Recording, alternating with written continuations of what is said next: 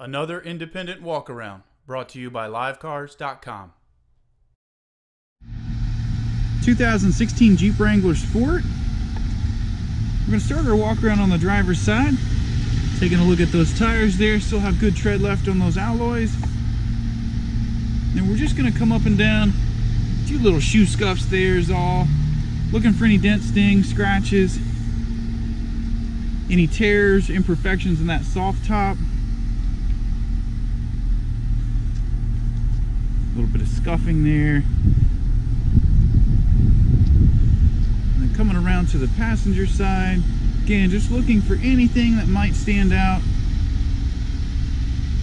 Looks really nicely maintained, very clean white Jeep. Looking at the interior now, you do have multiple adjustments here for the driver's seat. It's a nice black sport cloth fabric. 24025 is your current mileage.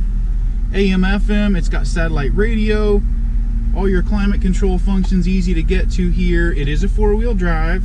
Got some cup holders and a little additional storage here. And then all the flooring surfaces will be black. Great for not showing any staining.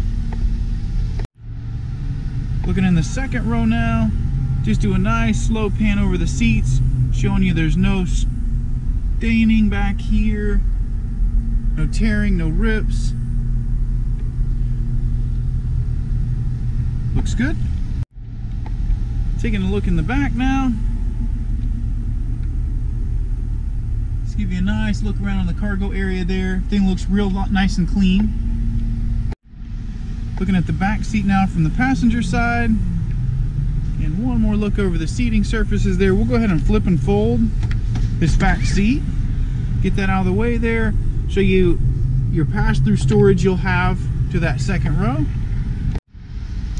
Finishing up in the front passenger seat, one more look over that seating surface. We'll take one more spin around the back.